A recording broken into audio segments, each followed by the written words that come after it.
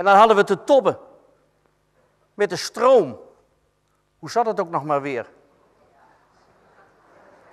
S'avonds moesten de ramen geblindeerd worden. Lancaster gordijnen om geen sprankje licht door te laten. Anders zullen de geallieerden met hun vliegtuigen kunnen zien waar ze zijn en onschuldige burgers kunnen bombarderen. Tenminste, zo stellen de Duitsers de gang van zaken voor. Luisterend naar de radio mag eerst nog, als je maar wel op de goede zenders afstemt. Anders kun je een forse boete oplopen en moet je je radio inleveren. Een paar jaar later, in mei 1943, geldt dat voor iedereen. Het hebben van een radio is strafbaar. Iedereen moet hem inleveren. Er blijken trouwens opvallend veel oude beestjes onder de ingeleverde toestellen. Nieuwere exemplaren worden op zolder, in de hooiberg, ja zelfs in de preekstoelen van de gereformeerde kerk aan de kerkstraat verborgen. Zo kan men in het geheim toch luisteren naar de verboden zenders. Radio Oranje uit Londen met Den Dolaert.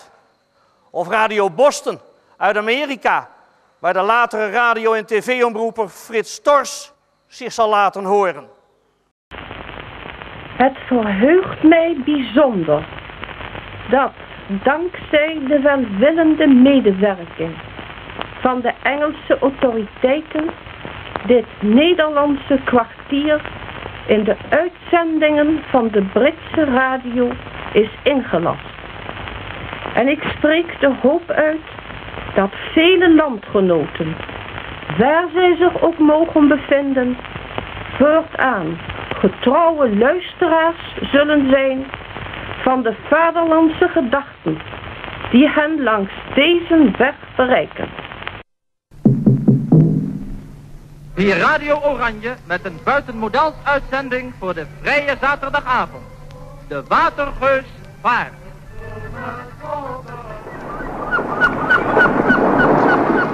Als een duiter, een Hollands meisje zit als een duiter.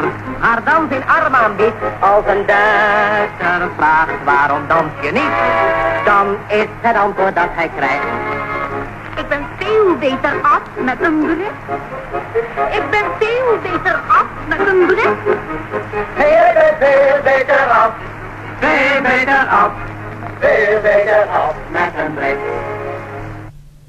Uit de tijd dat we nog wel mogen luisteren, worden we geacht af te stemmen op het foute, bijvoorbeeld het foute zaterdagmiddag cabaret van Paulus de Ruiter, dat uit Hilversum komt. En dit, dames en heren, is weer het einde van het zondagmiddagcabaret van Paulus de Ruiter. Tot de volgende week, vijf uur. We nemen nu afscheid van u met de Siegfriedlijn.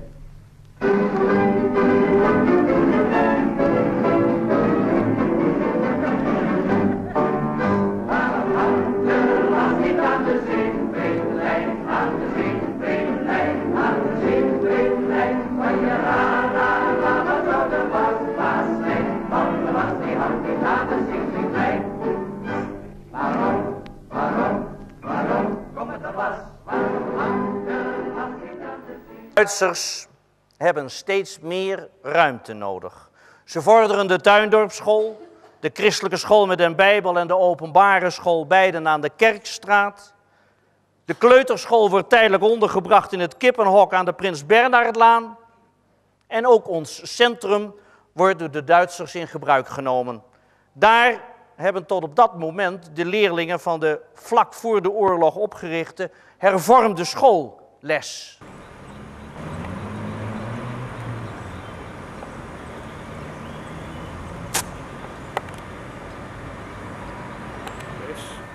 eh, in dit gebouw wat eh, herbouwd is, maar wij hadden nog geen schoolgebouw.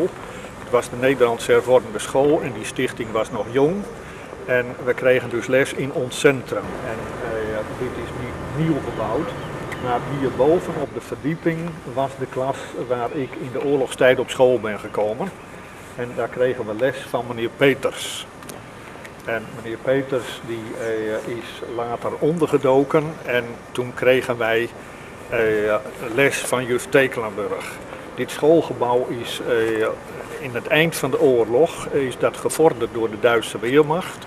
En toen moesten wij eruit. En we hadden dus geen schoolmogelijkheden meer. We kregen nog wel les in de consistorie van de Nederlandse Hervormde Kerk, hier op de achtergrond. maar eh, toen eh, het schoolgebouw gevorderd is, kwam de Duitse Weermacht hier. Als kind hadden wij toen geen school meer en we vonden dat natuurlijk prachtig. Eh, we hielpen de Duitsers om spullen naar binnen te dragen. Eh, chocolade en snoepgoed enzovoort. En eh, daar waren wij al lang van verstoken geweest. En ondertussen propten wij de zakken vol. Maar dat vonden wij een beloning voor het werk wat we voor hun deden. Wij kregen les in de consistorie van de Nederlandse Hervormde Kerk.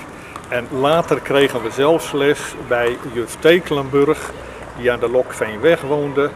Eh, op het aanrecht in de keuken met enkele jongens en meisjes nog les. Dat was dan eenmaal in de week.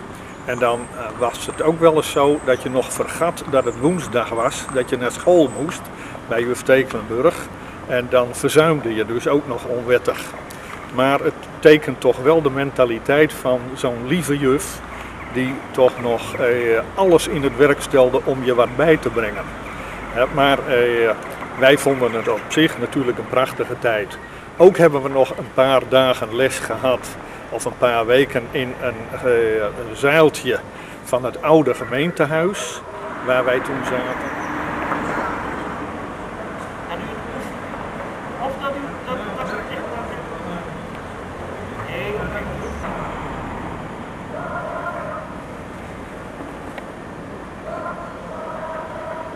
Dit is de plaats waar wij les kregen van uh, juffrouw Tekelenburg.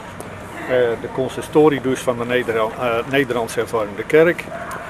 in geval van luchtalarm, dan vluchten wij onmiddellijk de kerk in. Want daar was het veiliger dan in de consistorie, dikke muren. En in de kerk waren zandemmers en blusapparaten aanwezig. Dat in geval van brand door fosforbommen of iets dergelijks eh, dat eh, wij allemaal een taak hadden, of wij kregen eh, allemaal een taak opgelegd. De een die moest een, een brandemmertje, een zandemmertje bedienen, een ander een blusapparaat en zo hadden we allemaal onze taak dus om in te grijpen in geval van nood. Ik heb zo'n idee dat die taak ook een beetje was om paniek te voorkomen, om ons af te leiden van zeg maar, eventuele angst voor, uh, voor bommen of iets dergelijks. Het was op zich wel enerverend als er luchtalarm uitbrak of de sirenes gingen, dat we onmiddellijk zeg maar, uh, het lesmateriaal neerlegden en de kerk in vluchten. En daar dan verbleven gedurende dat alarm totdat het zijn weer veilig was en dan gingen we terug naar de klas. Die emmertjes die stonden in, de, uh, in het hoofdgebouw van de kerk, niet in het koor. Wij waren dan ook in het hoofdgebouw, want daar waren de muren dikker en was dat dus veiliger.